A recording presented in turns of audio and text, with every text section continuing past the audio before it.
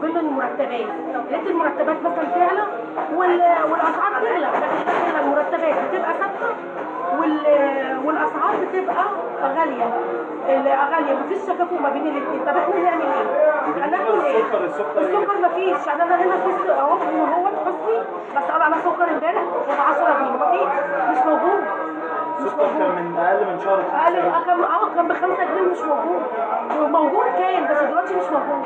يعني بس قالوا عليه ب 10 جنيه مش موجود. التونة بجيبها ب 7 جنيه وربع بقت ب 7 ونص بقت ب 8 ونص ده امبارح جايباها ب 10 جنيه. كل يوم يعني يا ريت كنت تكون بتقل كل يوم بتزيد.